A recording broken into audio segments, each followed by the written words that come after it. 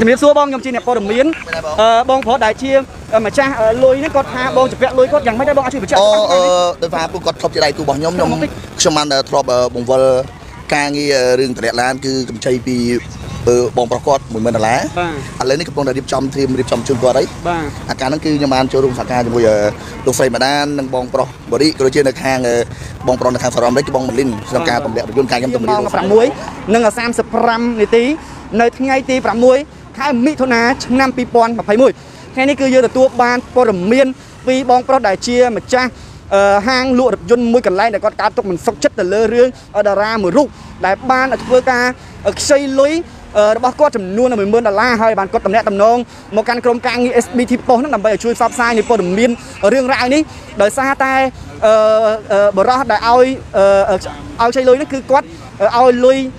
ថាថាសែកបើកលុយអត់ចេញបាទឥឡូវនេះយើងចង់ដឹងរឿងរ៉ាវនេះច្បាស់តើនឹងអត់យ៉ាងណាយើងនឹងទៅជួបជាមួយនឹងបងប្រុសដែលជាម្ចាស់ហាងដែលបានតំណែងមកកាន់ក្រុមការងារ SBT Post ផងដែរបាទបាទជំរាបសួរបងបាទខ្ញុំបាទដែលមកពីក្រុមការងារ SBT Post ហើយបងមានរឿងរ៉ាវអីដែរដែលបងបានតំណែងតំណងមកក្រុមការងារខ្ញុំឲ្យផ្សាយខ្ញុំបងសុំគិតមកតិចហ៎បាទបាទបាទនេះបងលោកសានសេរីហៅអ៊ីណូបាទតែបានឲ្យសែកមកខ្ញុំមកត្រឡប់10000ដុល្លារបាទ ABA ដែលខ្ញុំទៅបើកគឺអត់មានលុយសោះ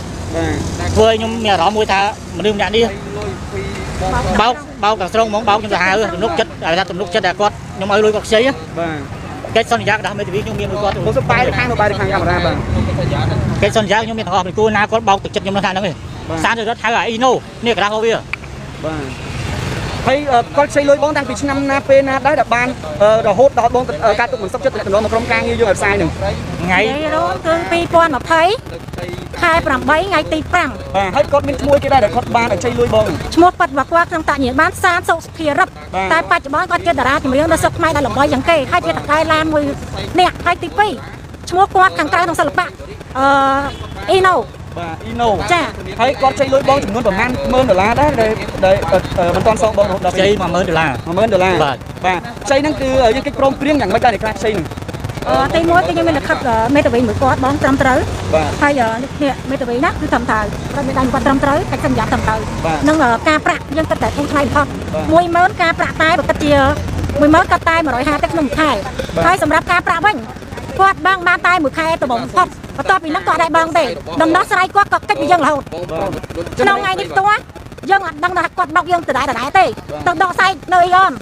មុនហ្នឹងតែចាបងទីដតមានលុយទេអត់មានលុយសាច់សុយបាទបាត់ដល់ដតបានបងសុំបានចុះវេលាដែលបងប្របទៅបានសែកចំនួន1 10000ដុល្លាររបស់លោកសានសុភារិទ្ធហៅអីណូណូបាទ អឺនៅមកប្រហែលដែលបងទៅហៅមានសែកនៅអ៊ីអនពីបាទពេលដែលខ្ញុំទៅបើកមកប្រហែលម៉ោង5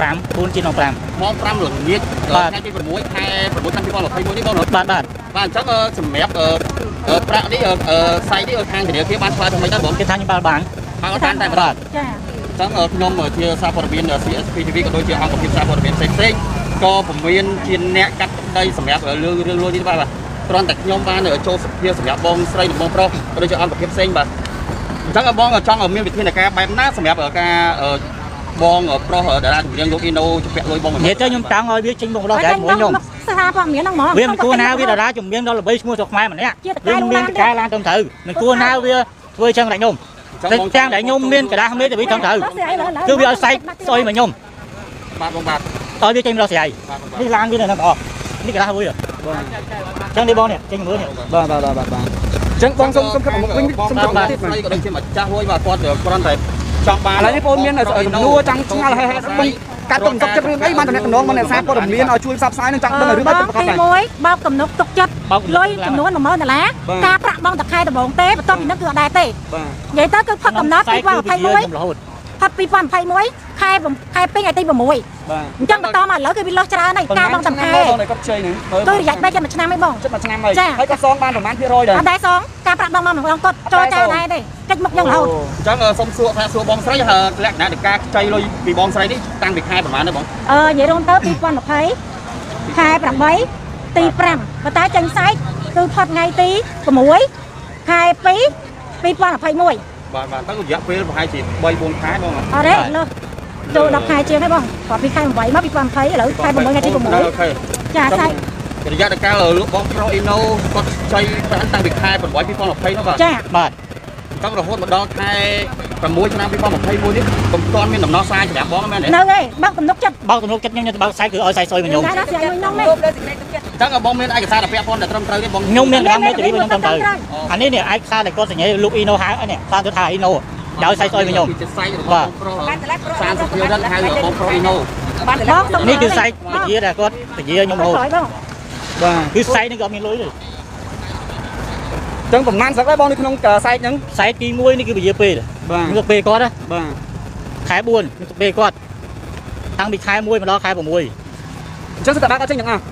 អានេះជាបើកគាត់ចេញទាំងអស់សាយចុងក្រោយនេះចៃសុំក្រោយនេះគាត់សន្យាច្បាស់ឡងមួយយើច្បាស់លាស់ខ្ញុំត្រូវខ្ញុំទៅពាក់លុយគេដែរខ្ញុំត្រូវការយកលុយនេះដើម្បីទៅសងគេបាទតែមកគួរណាតារាល្បីទៅខ្មែរហាអ៊ីណូនេះវាបោកទំនុកចិត្តខ្ញុំដល់យ៉ាងហ្នឹងបាទតារាជំនាញដល់ល្បីឈ្មោះទៅខ្មែរម្នាក់ដែរមិនគួរណាថោកទៀតបំផុត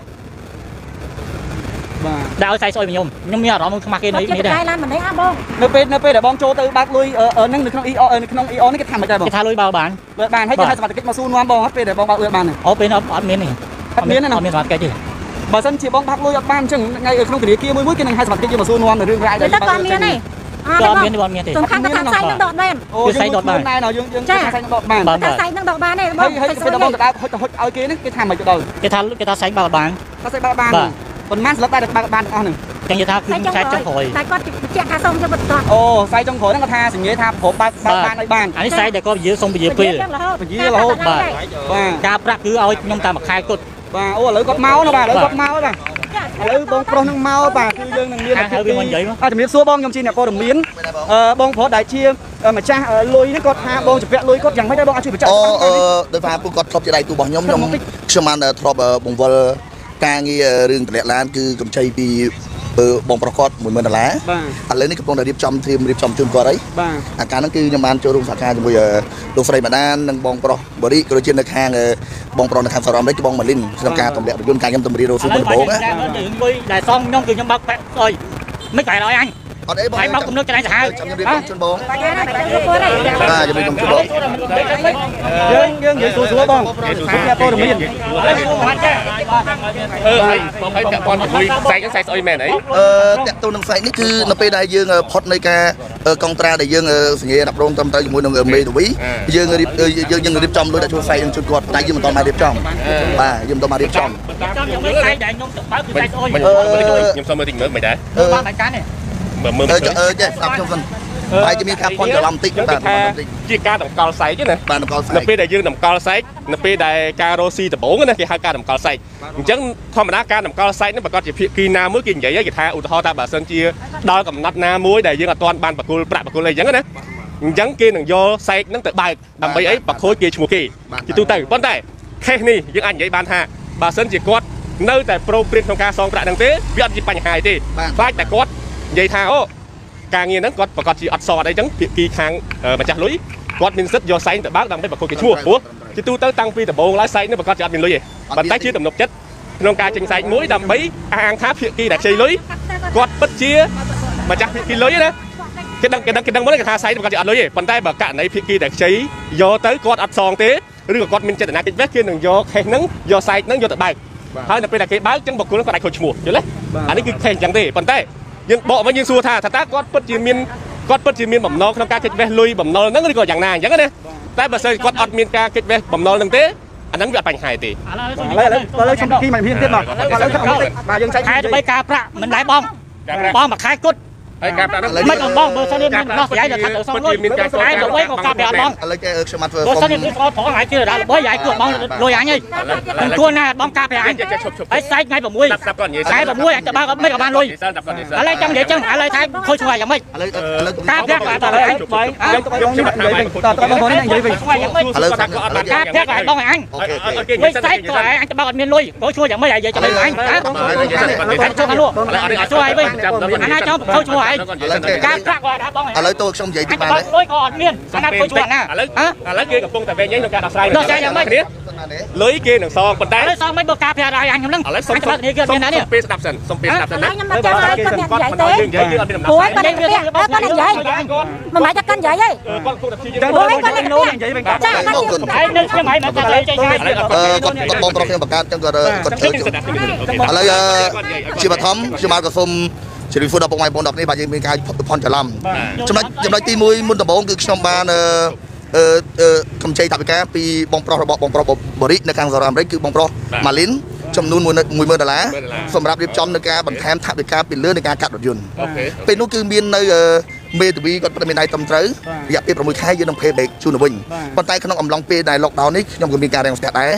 ហើយខ្ញុំក៏បានអឺខលទៅជម្រាបសួរដល់បងប្រុសរបស់គាត់បងប្រុសម៉ាលីននៅនៅខាងសហរដ្ឋអាមេរិកថាថាបងតាក់ទងនឹងការប្រាក់បងអូនបង្វិលជូនបងក្នុងពេលរយៈពេលឆាប់ឆាប់នេះដោយសារខ្ញុំបង្វិលដីខ្ញុំទៅបាត់ដំបងដែរអញ្ចឹងអឺខ្ញុំកំពុងរៀបចំបានតចាយមួយបងប្រុសគាត់រួចរាល់ជាស្រេចហើយហើយប៉ុន្តែខ្ញុំមិនដឹងថាថ្ងៃនេះសុខបានបាននិយាយបាទបាទបាននិយាយពីបងអឺម៉ាលីននៅខាងអាមេរិកហើយហើយចឹងថាមាន voice ជាសម្លេងគ្មានមានមានទាំងអស់មាន voice ក៏ដូចជាមានការអឺស្នើសុំ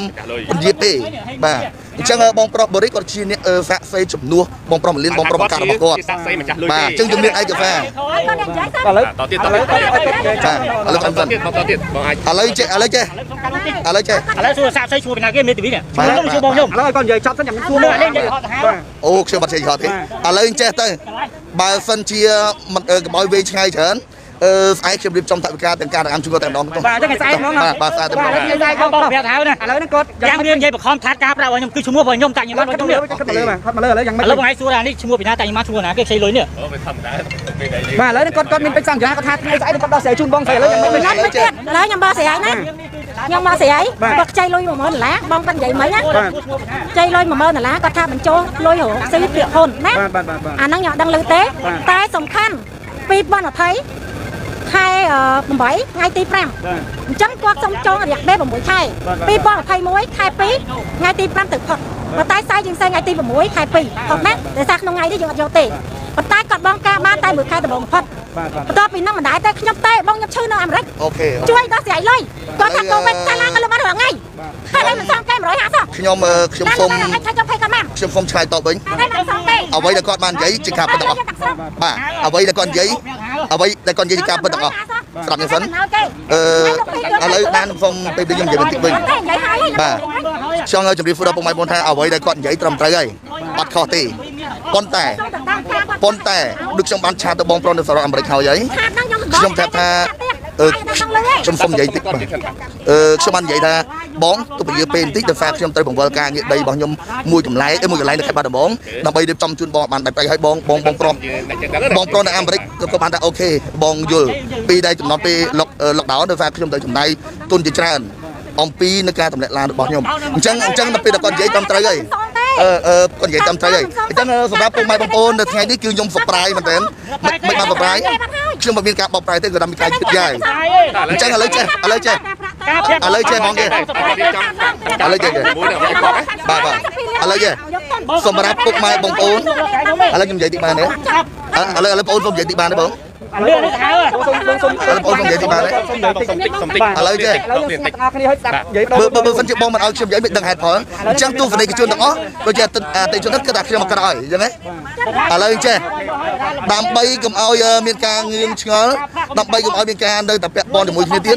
រៀបចំស្អែកនិងថវិកាការប្រាក់ឬប្រាក់ដើមរៀបចំជូនគាត់ទាំងអស់គាត់រៀបចំជូនស្អីគាត់ថាមិនសារព័ត៌មានហ្មងក៏បានបាទការព័ត៌មានមកបានគាត់រៀបតាមការប្រាក់ឲ្យខ្ញុំតាមប្រទេសនេះតែខ្ញុំមកបានសងអាចអាចអាចមើលមកបានការឆាតទៅម្ចាស់លុយដើមអាចណាមើលមកបានអឺក្រុមការងារសន្យាឲ្យការប្រាក់ទាំងអស់អូខេឥឡូវអាចអាចមើលមកបានគាត់និយាយសិនកុំជាយើងនិយាយយកឈ្នះអឺ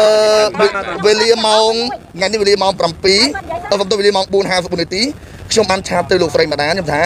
អឺបានបូកការប្រាក់បង្រៀន បន្តិចតើប៉ុន្មានពូម៉ាក់និយាយបានន័យថាគេចិត្តចង់សងទេណាម៉ោងថ្ងៃនេះ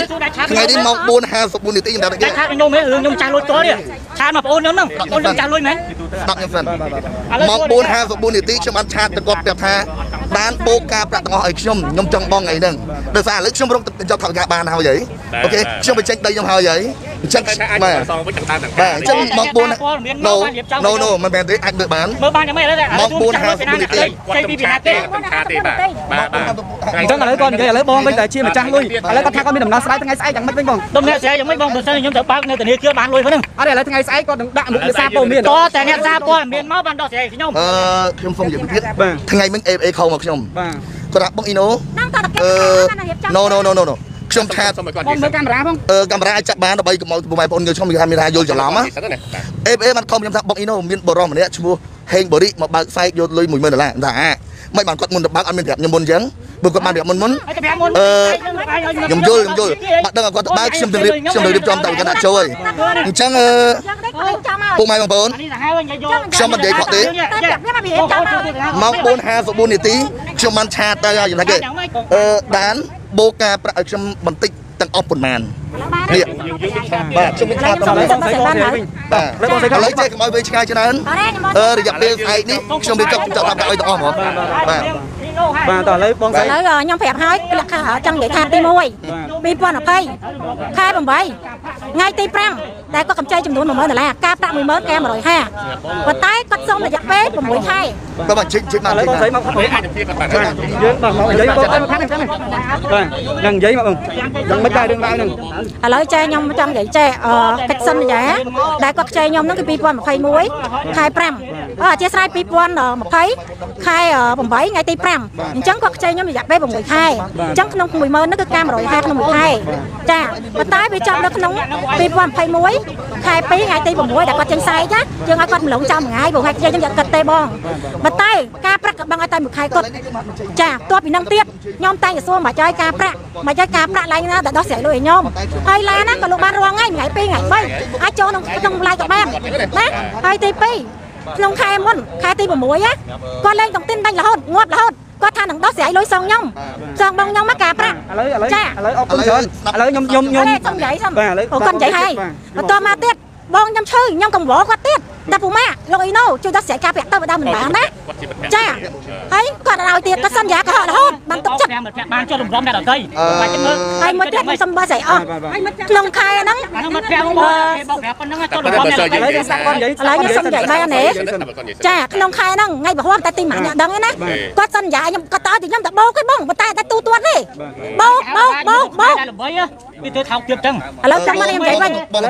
បងបងសុំស្ងៀមសិននិយាយសិនបាទគាត់និយាយសិនបាទគាត់និយាយសិនគាត់និយាយសិនចាំយើងបកស្រាយតាមក្រោយគាត់ឲ្យខ្ញុំបោកជារួងពេកប៉ុន្តែគាត់មិនដែរថាពួកអឺជួយបោកការប្រាក់ឲ្យបងខ្ញុំមកទេតើខ្ញុំសួរបានថាឲ្យបោកបោកបោកតែក្នុងបងក្នុងទូរស័ព្ទ Telegram ទេ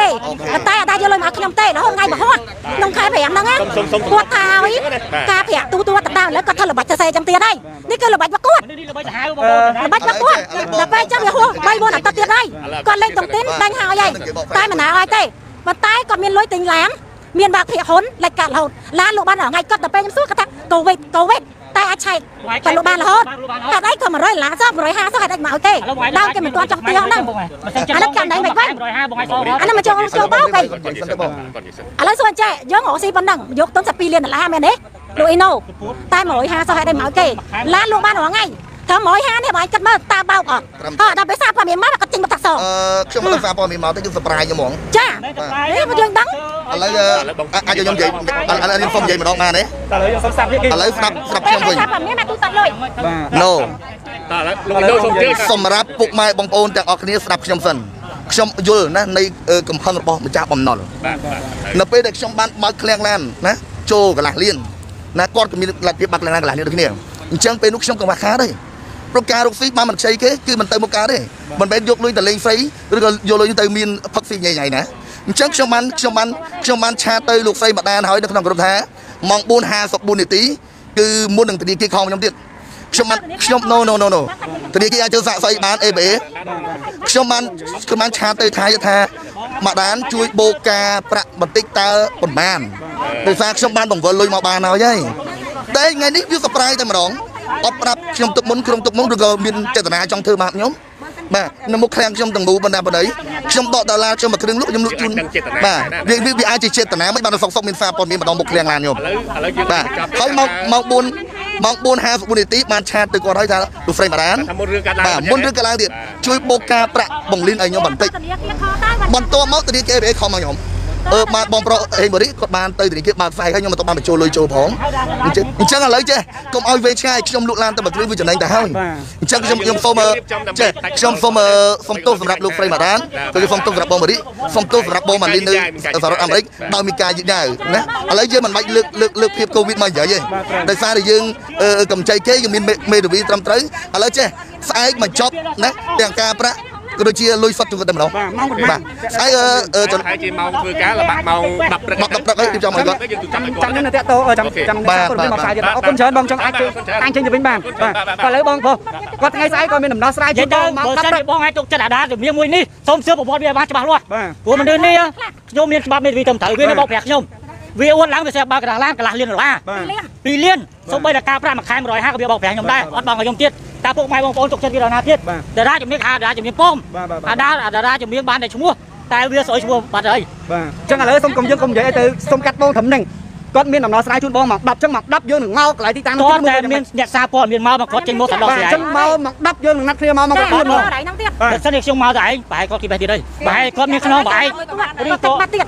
សឹងមិនខ្ញុំមកយកលុយណាការប្រាក់គាត់សិនយ៉ាងមកនេះយកខ្ញុំអាចយកលក្ខំទៅខ្ញុំទុកកិត្តិយសគាត់ព្រោះខ្ញុំចង់មកទេបោកខ្ញុំរហូតខ្ញុំមានឆាតដល់បងតែខ្ញុំតែជូនបងបោកខ្ញុំរហូតឥឡូវនេះគេសន្យាតារាចម្រៀងមួយរូបហ្នឹងសន្យាជាមួយនឹងបងតើបងទុកទុកចិត្តគាត់យ៉ាងម៉េចឬឥមួយឡូវខ្ញុំទុកចិត្តទ្រុសតាឡាញមកសារព័ត៌មានព្រោះខ្ញុំបោកខ្ញុំមកចាច់ចោលណាខ្ញុំអត់ជឿទៀតទេបាទបាទអញ្ចឹងបានន័យថាហើយគាត់លើកឡើងគាត់គាត់លើកឡើងថាសម័យកូវីដមានលុយតែឡានលុបបានរហូតបងឯងគាត់និយាយហ៎បើក្រុមហ៊ុនទៀតបើកនេះបើកនោះរហូតហេតុអីលុយខ្ញុំខ្ញុំសុំតកាសោះ150ហេតុអីមកឲ្យខ្ញុំតើមិនតន់តន់ទៅតែគាត់សន្យាខែ6ហ្នឹងនឹងដាក់លុយខ្ញុំអត់ដល់ធនាគារទេបើគាត់ធ្វើឆាតមកខ្ញុំឃើញអញ្ចឹងមាននៅគាត់បោកបាត់អីហ្នឹងអញ្ចឹងថាសុំពុកម៉ែបងប្អូនទាំងអស់មុនទុកចិត្តអាដាជំនាញសានសិទ្ធិរិទ្ធហើយអ៊ីណូសូមសឿប្រវត្តិវាច្បាស់លាស់សូម្បីតែខ្ញុំមានមេធាវីត្រឹមត្រូវនៅវាបោកប្រាស់ វាអួតសិតឡើងសិតដល់មួយខែ2លានអីគេបើកក្រាមបាន2លានពីលានឡាការប្រាក់មួយខែ150បងតែខ្ញុំមិនហ្នឹងឲ្យខ្ញុំអញ្ចឹងឥឡូវអូនអរគុណច្រើនបងទាំងពីរហើយសូមសម្រួលអារម្មណ៍យើងស្ដាប់ទាំងសងខាងអឺឥឡូវគាត់បានមកបញ្ជាក់ក្រុមការងារលេខរត់ណាបងប្អូនបាទមនុស្សវាលេខរត់ណាគាត់បានមកបញ្ជាក់ក្រុមការងារខ្ញុំហើយអញ្ចឹងឥឡូវយើងនឹងមកមើលទាំងអស់គ្នាថ្ងៃស្អែកបន្តទៀតហើយមួយទៀតខ្ញុំនិយាយអស់ថ្ងៃហ្នឹងខ្ញុំក៏មិនត្រូវចាញ់បាក់តុងទីនគាត់មួយក្បាលទៀតបលួងប្រែកខ្ញុំឲ្យដេញតុងទីនជំនួសវាបាទយកឈ្មោះខ្ញុំ ដេញហើយវាកាច់អារបស់វាពីរក្បាលដេញងាប់មួយក្បាលគេឲ្យដេញទាំងពីរហ៎បង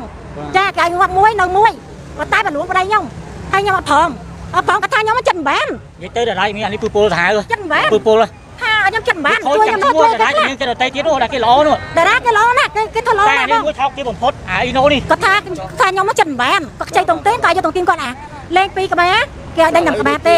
បន្តតុងក្បាលអញ្ចឹងខ្ញុំលេងពីរក្បាលវានៅត្រួតទាំងពីរអញ្ចឹងគាត់ឲ្យខ្ញុំជិះដេញតុងទីនជំនួសគាត់យកអារបស់គាត់អញ្ចឹងថ្ងៃក្រោយខ្ញុំមានបញ្ហាអីទៅយកលុយយកមិនបានដេញមិនបាន